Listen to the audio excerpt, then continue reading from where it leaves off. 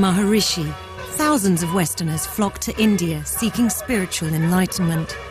Visits from stars like the Beatles brought added glamour to the road east. India is so unique, it's so incredible. If there's a spiritual train, then India is the engine. All this mysticism, all the strangeness that surrounds Sai Baba and all that stuff, uh, this is a perfect home for it.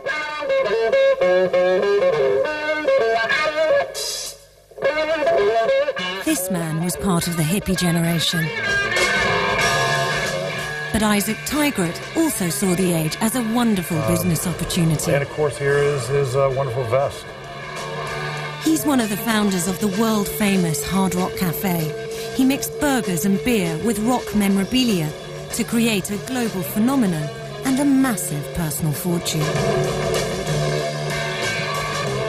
Isaac took Sai Baba's motto, love all, serve all, and made it the motto of the hard rock. But even with all his wealth and fame, Isaac felt there was still something missing from his life. I said, look, I need to start a search. I need to go look for what I think is a master, a guru, a spiritual leader, a teacher, something, because of the hunger inside of me. But I searched all over India. I went to every ashram, every holy place. Uh, I heard about this obscure little guru, decided to go down there, and uh, there was a festival day. There was a huge crowd, and uh, he parted the crowd and came right over to me. I was sitting at the back, and he said, You've come at last. I've been waiting for you. So he turned and said, uh, We have many things that we're going to do together. You wait right here. Uh, he didn't speak to me again for 15 years.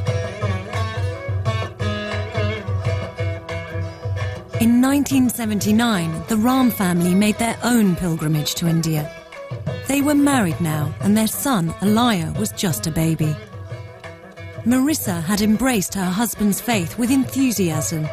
For years, she'd been having visions of Sai Baba.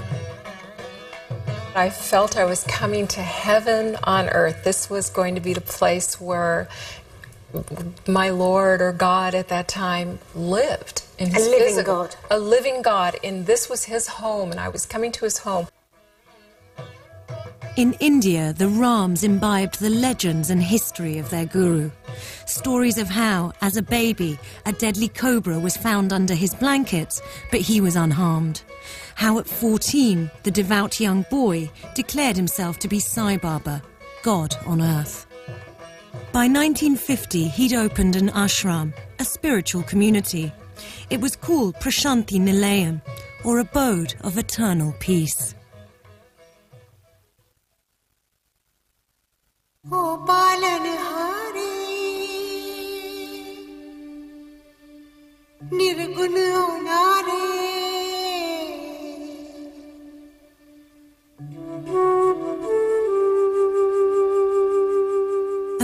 beauty and spirituality of India lies the reality of hard lives. Here, in the vast rural state of Andhra Pradesh, villagers face drought and poverty on a daily basis. Little surprise then that when the authorities fail to deliver that essential resource, water, Sai Baba's ability to cut through the red tape means that he's hailed as a god. In the mid 1990s, his charity spent over £40 million supplying water to villages like this.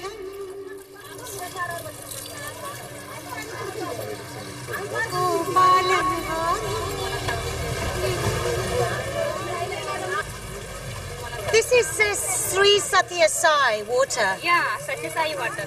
How long has it been here? 14 years. 14 years. 14 years. Is this good water? It is good water and uh, healthy water. This is healthy water. It's clean water. Clean water, healthy water. And what do you think of Sai Baba? Uh, Sai Baba is a god. Sai Baba is God. The water project that he did in Andhra Pradesh, one year they laid 2,000 kilometers of pipe. They brought to thousands of villages fresh water that they'd never had, that women had to travel 20 miles a day to get a little bucket. Uh, that was an amazing project. Isaac Tigrett did some good works of his own. By the time Sai Baba spoke to him again, he'd become an extremely rich man. When the Guru told him of his dream for an ultra-modern hospital in the heart of Andhra Pradesh, Tigrett donated tens of millions of dollars. Prince Charles's architect, Keith Critchlow, who's also a Sai Baba devotee, was hired to design it.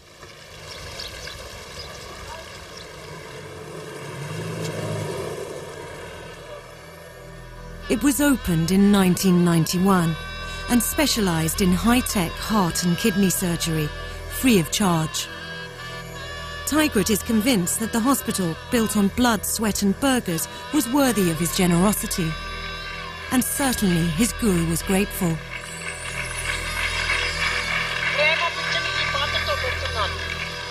This is, this vessel, silver vessel, is a flower of love.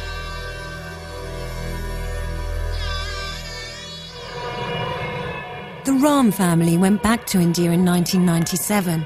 By then, Alaya was a handsome teenager.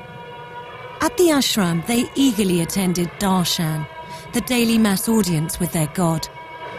The first day, Baba came walking out and he saw Alaya and his eyes got real big and then he looked at me and he said, How many in your group? And we said 10. And he said, You go in. And he called us in for an interview. Sai Baba was about to fulfill one of Alaya's lifelong dreams. He materialized a sacred ring for him.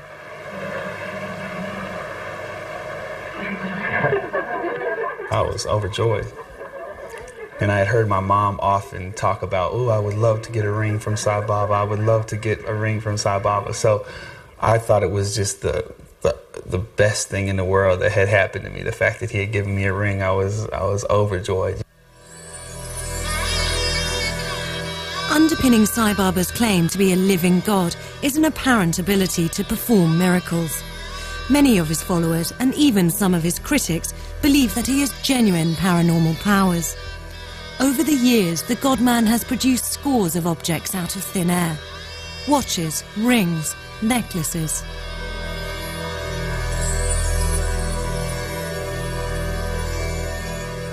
These are things that Sai Baba has made. This watch, th- these rings, and this. Sometimes he will give somebody something and produce, manifest something, and it's like a calling card. It gets their attention so that they can come and see what he really has to offer. But for many devotees like young Alaya Rahm, Sai Baba's generosity came at a cost. At the same time, I was overjoyed. It was also a little bit of confusion because that was the first interview in which he called me in personally. He took you aside. Mm-hmm. Took me aside and put the oil on his hands and, and, and told me to drop my pants and rub my genitalia with the oil and pulled me close and started kissing me heavily on the mouth. And I was really taken back by it and not understanding what was going on. I said, So tell me about, you know, your interview. And he said, Well, I'm not supposed to tell anybody. Baba told me not to tell anybody. And I looked at him and I said, Did he make oil for you? And his eyes got kind of big and he said, How did you know? And I said, Did he rub it on you? And he said, Yeah. He said, How did you know? And I said, Because it happened to me. To Alaya's surprise, his father had had the same oiling experience when he first visited Sai Baba aged 18. The guru had told him it was a ritual healing process. Al accepted this, and when it happened to Alaya, he saw nothing wrong.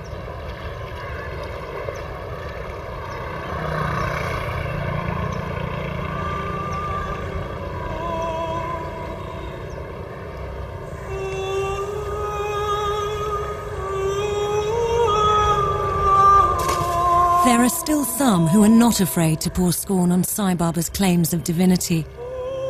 Basava Premanand is India's leading guru buster and a rationalist. His mission is to expose any charlatan who pretends his magic tricks are miracles and to rid his country of superstition and myth.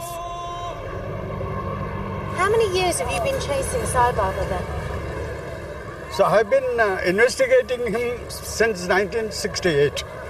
1968. 68, investigating and uh, uh, drawing my conclusions and keeping it as a hobby.